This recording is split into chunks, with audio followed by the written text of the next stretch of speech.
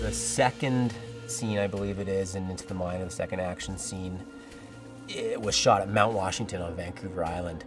And uh, we had done a music video a couple years prior where we used a trained Harris Hawk uh, with these same people. The company's called Pacific Northwest Raptors. So we went to them and we said, hey, uh, you know, it would be really cool if we could shoot an action ski segment with, you know, an eagle or an owl or a hawk. It was a bit of a, a mission because it was one of the, the biggest storms of the year. I think it snowed about a meter and a half, two meters up in Mount Washington. Um, so we were trying to shoot with these birds and with athletes uh, all at the same time, and uh, it was a bit of a scene for sure.